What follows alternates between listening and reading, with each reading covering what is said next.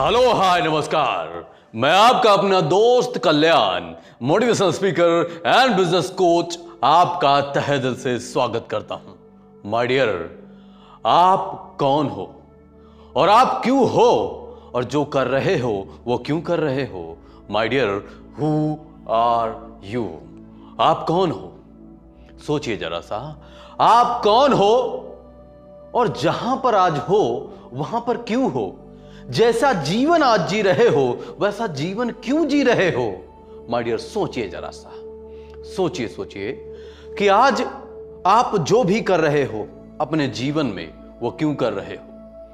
और क्यों यही क्यों कर रहे हो? कुछ और क्यों नहीं कर रहे हो? और जहाँ पर हो, वहाँ क्यों हो? जो प्रॉब्लम आपके जीवन में वो क्यों है? जो लोग आपके जीवन में दर्द बने हुए हैं, वो क्यों बने हुए हैं? माय डियर सोचिए। थिंक अबाउट माय डियर आप अपने बारे में जैसा सोचते हो और अपने आप को जो मानते हो, आप वही बन जाते हो। आज आप जहाँ पर भी हो, इसका मतलब है कि आप अपने आप को वही मानते हो जो आज आप हो। और अगर आप अपने आप को कुछ और मानते तो माय डियर आज आप कुछ और हो सकते थे। इसको एक कहानी के माध्यम से समझने की कोशिश करते हैं। माइडियर एक व्यक्ति था जिसका नाम था छंगालाल। छंगालाल एक दिन पेपर पलट रहा, गुस्से में क्लासिफाइड को देख रहा और उसको उसमें कोई जॉब नहीं मिल रही है। वो सोच रहा, अगर कोई जॉब मिल जाती इवन बर्तन धुलने का भी जॉब मिल जाता तो अपन को मज़ा आ जाता। लेकिन उसको कोई जॉब मिल नहीं रही। तो उसने क्या किया? गुस्से में उठा के पेपर को फेंक दिया। जब गुस्से में पेपर को फेंका तो पेपर के ऊपर फ्रंट पेज पर उसको दिखाई दिया कि एक एडवर्टीजमेंट था, जो कोई ऑडिशन चल रहा था, उसका एडवर्टीजमेंट था। उसने सोचा कि मेरे पड़ोस में ऑडिशन चल रहा, क्यों ना मैं चला जाऊँ, मुझे जाना चाहिए। और माइडियर छंगालाल गया ऑडिशन देने के लिए। जब छंगालाल गया ऑडिशन देने के लिए, वहाँ ऑडिशन देने के लिए उसको डायरेक्टर ने क्या किया? उसको कहा कि एक पैराग्राफ पढ़ के दिखाओ छंगालाल छंगालाल के पैराग्राफ पढ़ने में पसीने छूटने लगे, क्योंकि उसको पढ़ना सही से आता ही नहीं था। जब डायरेक्टर ने देखा कि छंगालाल सही से पढ़ नहीं पा रहा है डायरेक्टर ने उसको फायर कर दिया और कहा कि तू जाके बर्तन धुलो, जाके तेरे जैसे लोग कुछ नहीं कर सकते जीवन में। माय डियर छंगालाल को यह बात दिल पे लग गई। छंगालाल आके रात में सोचने लगा, उसको नींद तक नहीं आई, पूरी रात जगता रहा और रोता रहा, सोचता रहा कि डायरेक्टर को कैसे पता चला कि मैं बर्तन धुलने की जॉब ढूंढ रहा था। अब मैं डायरेक्टर को गलत साबित करके रहूँगा। अब मैं एक्टर ही बनूँगा अपने जीवन में। माय डियर छंगालाल ने क्या किया? सबसे पहले क्या करना चाहिए, उसकी प्लानिंग बनाई। सबसे पहले छंगालाल ने बर्तन धुलने का जॉब कर लिया।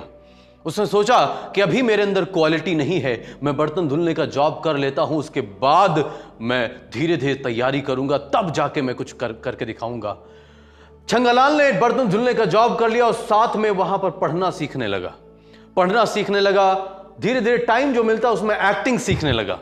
एक्टिंग सीखते सीखते सीखते सीखते सीखते सीखते एक दिन माइडियर क्या हुआ? छंगालाल को एक थिएटर में प्ले करने का मौका मिल गया और वो प्ले नहीं जीवन को बदलने का सबसे अच्छा मौका था छंगालाल के लिए।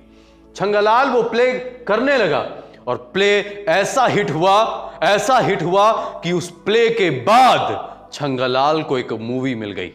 माय डियर जब छंगालाल को मूवी मिल गई और मूवी में काम किया, छंगालाल ने इतनी ज़बरदस्त मेहनत की, उसमें लीड रोल में था छंगालाल।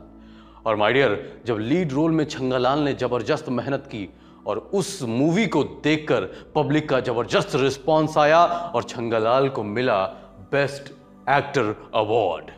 My dear जिस तरह आप अपने आप को कम आंकते हो, उसी तरह छंगालाल भी अपने आप को कम आंक रहा था। लेकिन जिस दिन से छंगालाल ने अपने आप को एक बेस्ट एक्टर के तौर पर देखना स्टार्ट किया और बेस्ट एक्टर अपने आप को मानना स्टार्ट किया और आपने देखा कि मानना स्टार्ट किया उसके बाद कैसे छंगालाल बेस्ट एक्टर बन गया और आने वाले टाइम पर उसको राष्ट्रपति द्वारा सम्मान भी मिला बेस्ट एक्टर का। तो माय डियर आप अपने आप को जो मानते हो, आप वही बन जाते हो। आप आज जहाँ पर हो, इसका मतलब है आप अपने आप को वैसा ही मान रहे हो। अगर आप अपने आप को कुछ और मानना आज से स्टार्ट कर दो तो माय डियर आप जीवन में कुछ भी बन सकते हो। माय डियर एक एग्ज़ाम्पल और लेते हैं। नवाजुद्दीन सिद्दीकी एक टाइम पर सिक्योरिटी गार्ड की जॉब कर रहे थे। जब सिक्योरिटी गार्ड थे नवाजुद्दीन सिद्दीकी, लेकिन कभी भी उन्होंने अपने आप को सिक्योरिटी गार्ड नहीं माना। वो जॉब कर रहे थे सिक्योरिटी गार्ड का, लेकिन अपने आप को मान रहे थे कि मैं बेस्ट एक्टर हूँ। और आप जानते हैं रिज़ल्ट आपके सामने है कि नवाजुद्दीन सिद्दीकी आज एक बेस्ट एक्टर हैं। तो माडियर आप अपने आप को जो मानते हो, आप वही बन जाते हो। आज आप जो भी हो, इसका मतलब है कि आप अपने आप को वही मान रहे हो। आज अगर आप अपने जीवन में कुछ भी नहीं हो, आज अपने जीवन में आप कुछ भी नहीं कर पा रहे हो, इसका मतलब कमी बाहर दुनिया में नहीं है, कमी आपके अंदर है। पहले अपने अंदर से सुधारो, अपने अंदर से चीज़ों को चेंज करो, ये पूरी दुनिया आपके लिए चेंज हो जाएगी। तो यह वीडियो कैसा लगा, हमें कमेंट बॉक्स में बताएँ। इसी के साथ thanks for watching this video if you really like this video so please share with your friends on whatsapp thank you thank you so much last में एक चीज़ कहना चाहूँगा कि सीखते रहिए सिखाते रहिए दूसरों के जीवन में खुशियाँ भरते रहिए इसी के साथ धन्यवाद